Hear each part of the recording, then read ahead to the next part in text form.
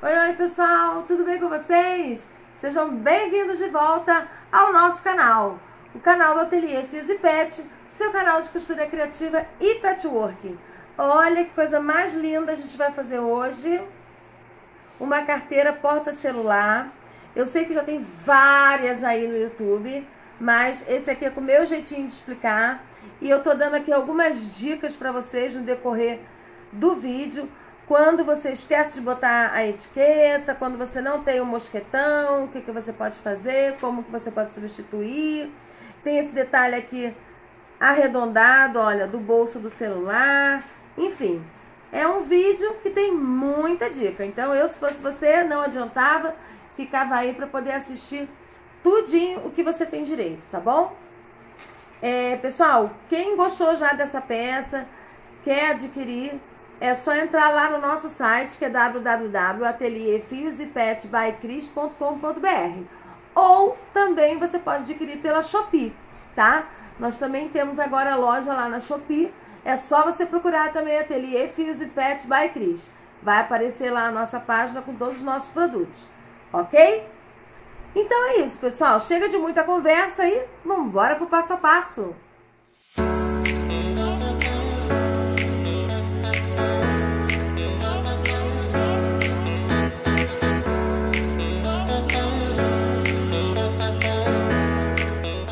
Pessoal, vou passar para vocês as medidas do que, que a gente vai precisar.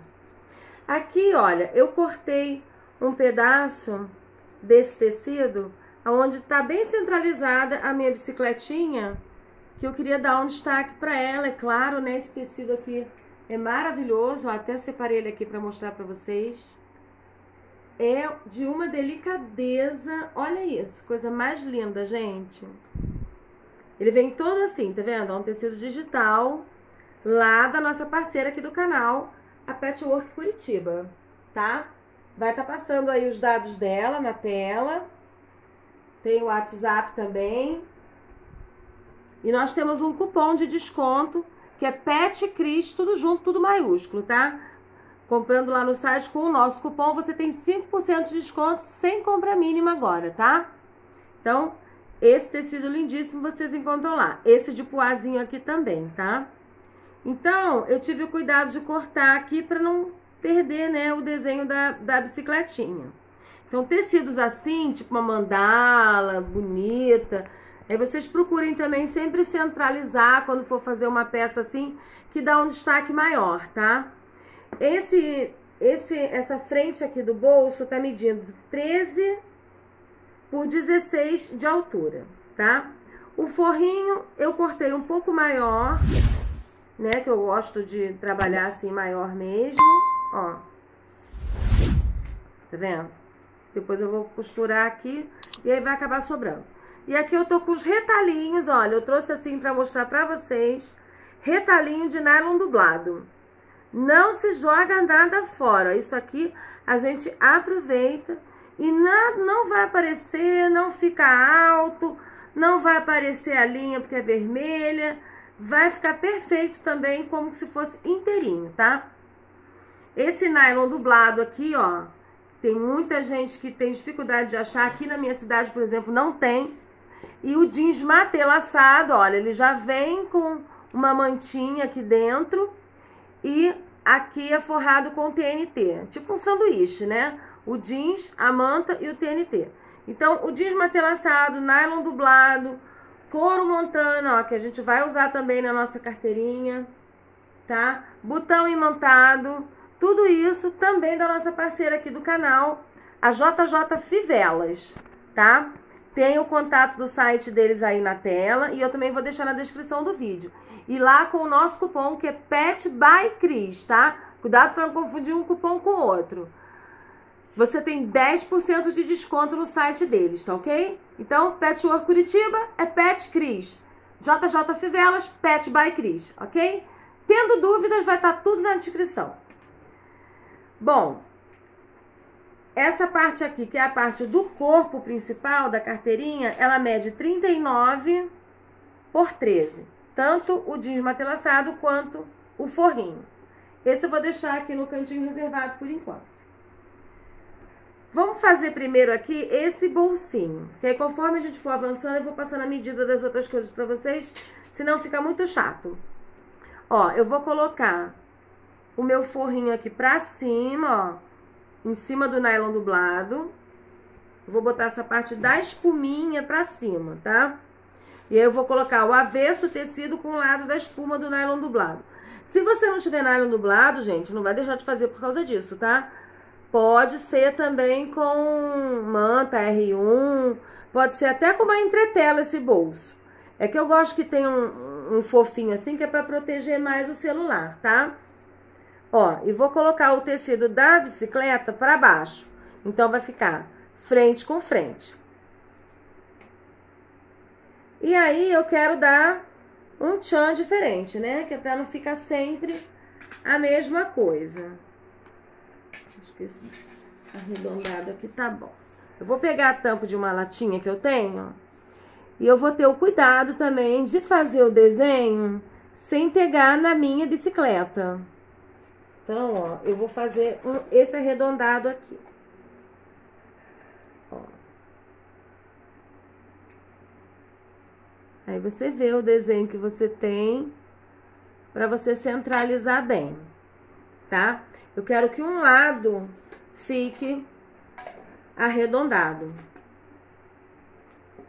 E aí, nós vamos costurar, ó. Vou mostrar pra vocês. Só me organizar aqui. Pronto. Nós vamos deixar a parte de baixo aberta, tá?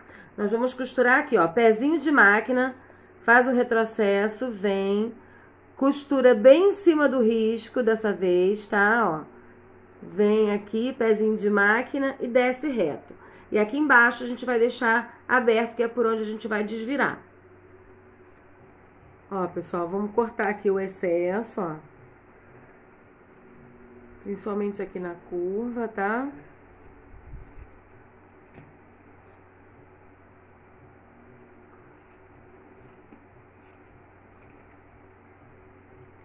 Aqui nesses cantinhos, a gente também dá uma chanfradinha assim, né, na diagonal. Aí fica melhor também para desvirar. Aqui eu cortei bem rente a costura, nem precisaria dar pique, ó. Mas pode dar uns piquezinhos piquititinho, que é pra desvirar perfeitinho aquela parte ali arredondada. O nylon dublado, ele é bem maciozinho, um material gostoso de trabalhar e é super em conta. Depois dá uma olhadinha lá no site da JJ, Fivelas, vocês vão se surpreender. Tem tudo quanto é cor. Ó, fazer assim bem bonitinho. Empurra aqui com cuidado para não furar. E aí nós vamos rebater isso aqui agora, tá? A gente vai fazer uma costura. Não precisa rebater aqui, aqui agora não, tá? Só essa parte aqui da essa curva aqui e essa lateral. Ó, pessoal, essa parte aqui de baixo, ó, a gente também vai passar uma costura bem na beiradinha, só pra não ficar escapando, tá? Vai ficar assim. Aí, nós vamos agora pegar o jeans matelaçado, vamos achar aqui o meio dele, os dois lados.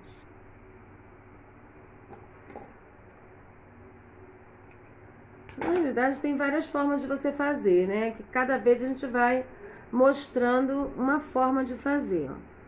Ele vai ficar com essa diferença aqui, mas é porque ainda vai entrar o zíper, tá? Então, ó, você bota mais pra borda do lado arredondado, ó.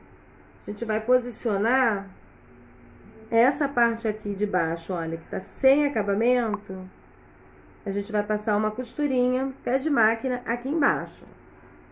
Bem aqui no no pique ali onde a gente achou o meio, tá? Ó, assim.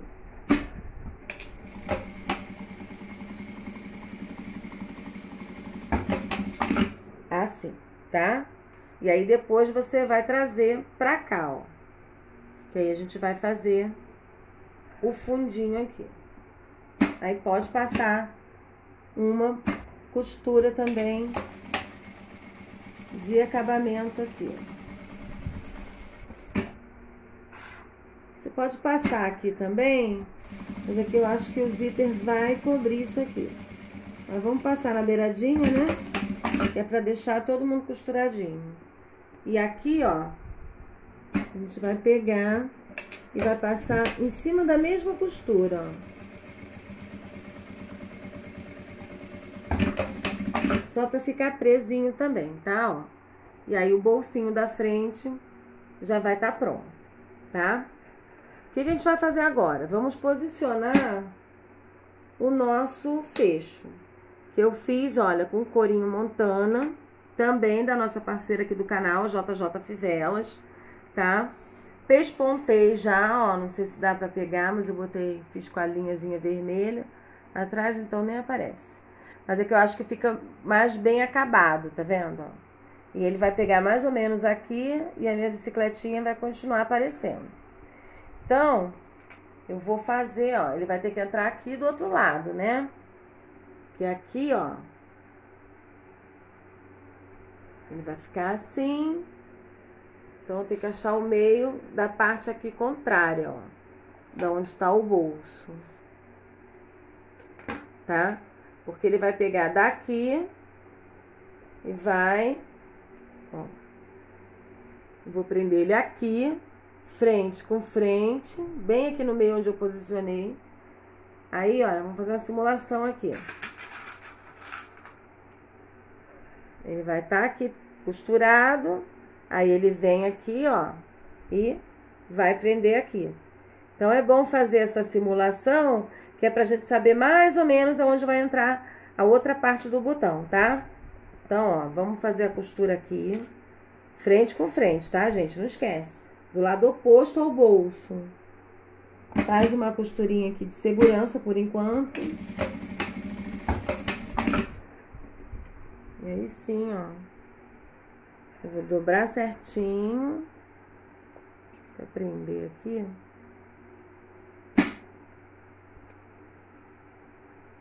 deixa assim um pouquinho folgadinho. E aí eu vou apertar aqui, ó.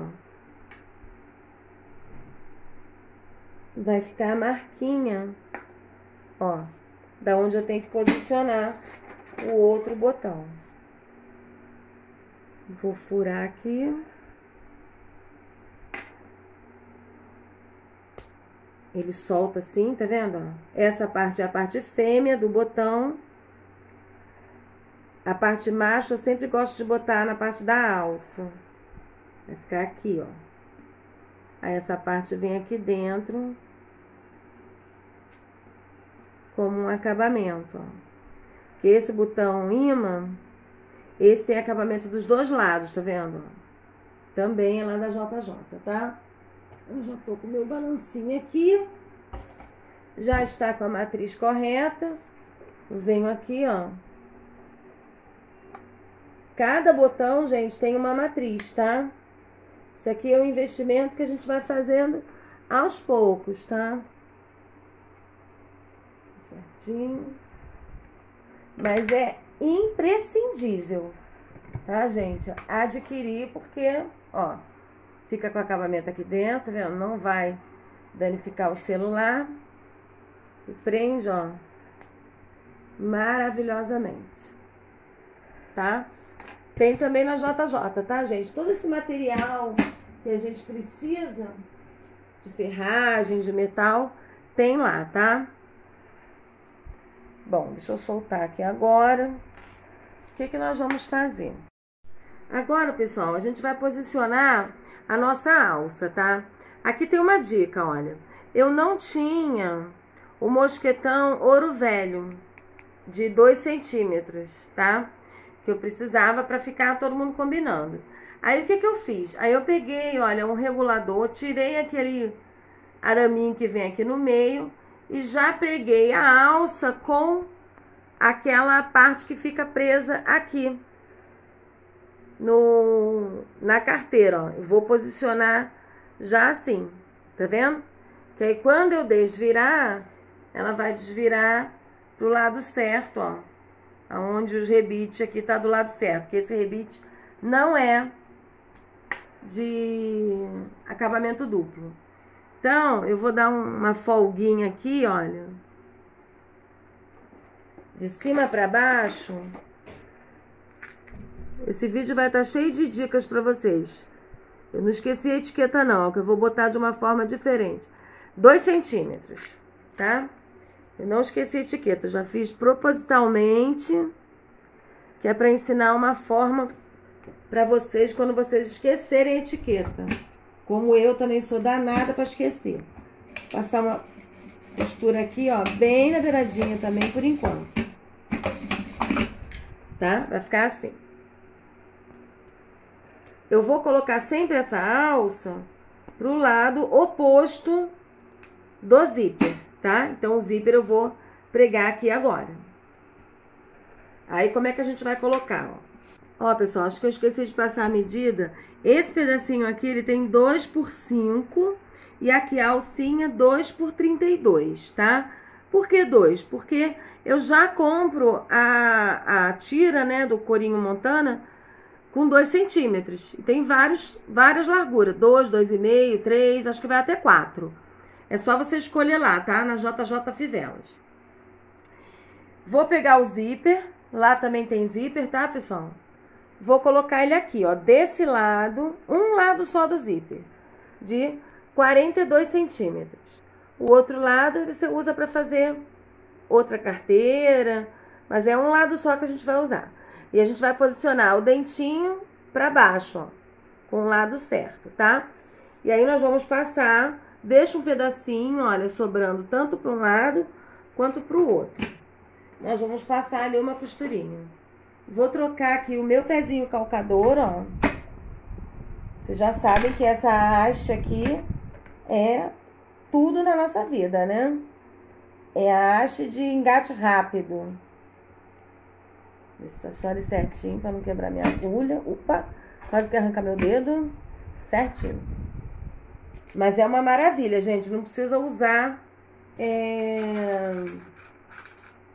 chave de fenda pregar aqui só para não ficar saindo do lugar. E aí a gente vai passar essa costura aqui bem rente aos dentinhos do zíper, tá? Ó. Eu acho essa forma aqui de fazer essas carteirinhas, porta-celular, mais fácil. Várias outras formas de fazer, gente. Aí, aí é uma questão de de qual que você se adapta melhor, tá? Ó, vai ficar bem próximo aqui mesmo, tá vendo? Vai ficar assim. Agora a gente pega o nosso forrinho e vai colocar a frente do forro com a frente do nosso trabalho, tá? Só que a gente vai costurar, olha, pelo lado da manta, que é pra esse forro não repuxar não ficar sobrando. E a gente vai costurar, olha, bem em cima da costura que a gente acabou de fazer.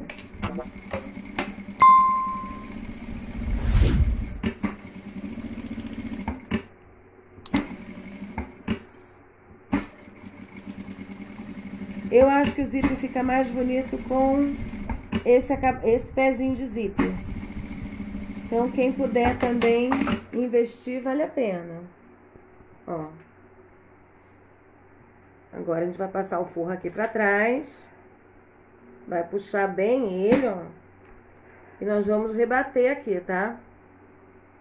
Igualzinho como a gente faz com uma necessaire, ó.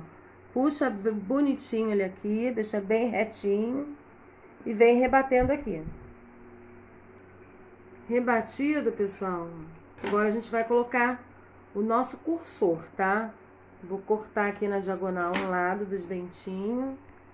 Acho que fica mais fácil assim. E olha esse cursor que eu vou colocar, gente. Que escândalo.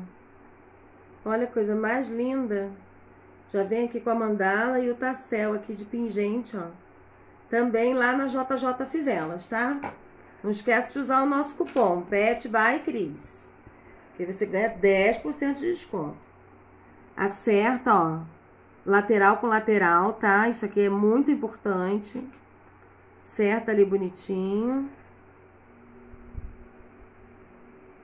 E você entra com o cursor sempre do lado arredondado. Encaixou, você fecha, tá? Então, ó, ainda vai ter mais esse penduricalho aqui. Quanto mais coisa pendurada, mais eu gosto, gente. Eu acho que fica lindo. Ó, agora, sem abrir o zíper, não precisa abrir o zíper. A gente vai colocar pro lado avesso, tá? Vai empurrando assim, ó. Puxa aqui o forro. Pronto. Coloca, ó, a alcinha pra dentro, já que essa alça é uma alça fixa, né? Porque eu não botei o mosquetão, que é pra eu costurar ela certinho. Ó, a gente vai acertando aqui. Bota os clipses. Aqui, olha, a gente também vai botar bonitinho. Ó.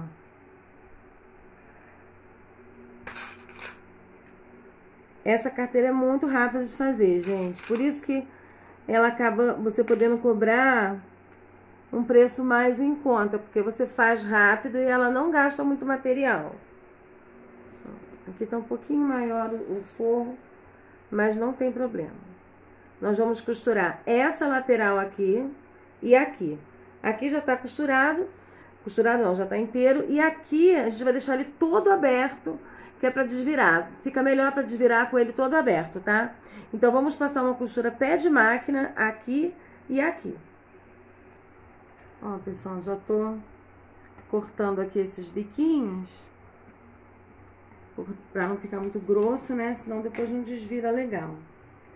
Aí agora a gente vai abrir aqui o nosso zíper.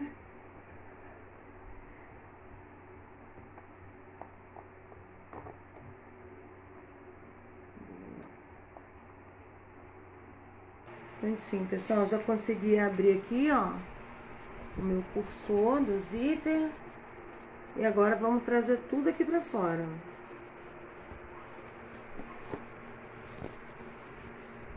Aí eu amo jeans com vermelho. Acho que fica uma combinação maravilhosa. Aqui a gente puxa bem, olha, para ir acertando.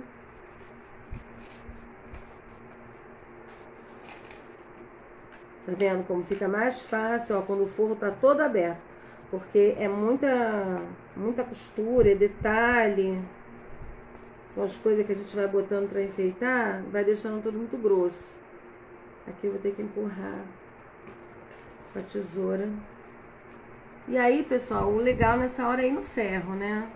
Pra dar uma sentada, deixar essas costuras mais molinho, ó, pra gente desvirar, tá? Eu não quero furar meu material de jeito nenhum. Aqui também.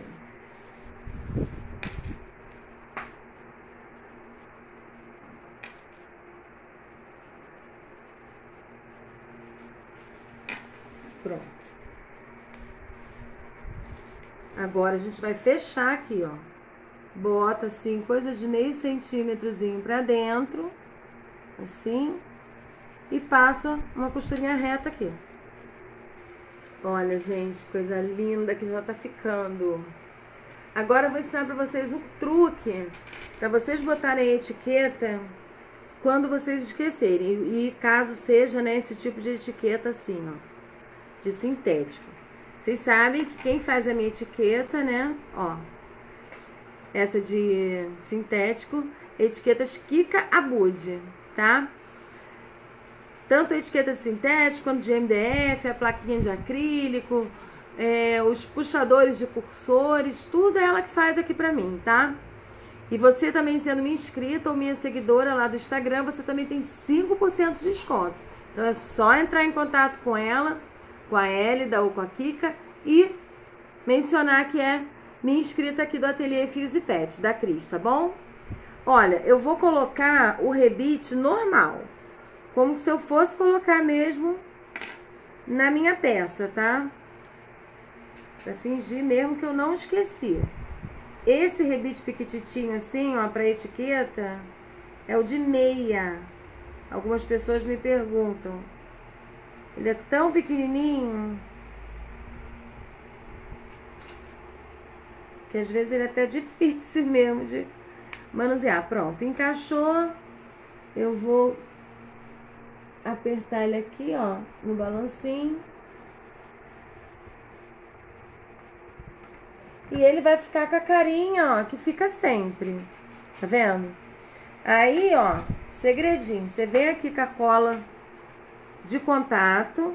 Ou se você não tiver, pode ser também aquela, aquela cola instantânea, também serve.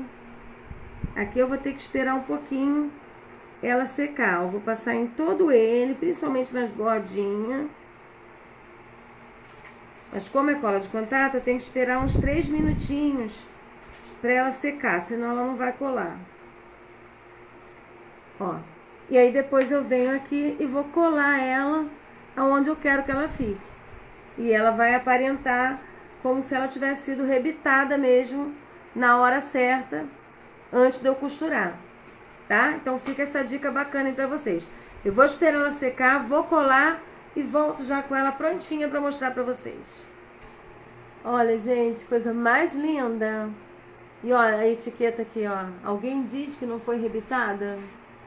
Tá vendo? Fica mais essa dica aí para vocês, olha. Se esqueceu, você cola que ela fica tão linda quando estivesse rebitada, ó. Eu botei aqui o celular do meu filho, é menor que o meu, mas cabe também esses celulares maiores, tá? Ó. Fica uma graça, uma graça. E aqui uma bolsinha normal que você pode colocar documento, dinheiro, um cartão, ó. E cheia de charminhos, tá vendo? Com tacel, com alcinha, as ferragens que super valoriza a peça. Eu amei e espero que você também tenha gostado. Se você gostou, não esquece de deixar aquele joinha bacana aí pra mim, compartilha nos seus grupos de WhatsApp, fala pra mim da onde você está assistindo esse vídeo, eu tô amando saber até onde nossos vídeos estão chegando e a gente já tá chegando pertinho dos 100 mil, gente. Então vamos lá, me ajuda aí pra gente chegar logo nesses 100 mil, que vai ter mais surpresa quando chegar a 100 mil inscritos, tá bem? E para você que gostou dessa peça, ela vai estar disponível tanto no nosso site quanto na plataforma do Shopee que agora também a gente tem lojinha lá, tá bom? Um beijo enorme no coração de cada um de vocês. Fiquem com Deus e até a próxima!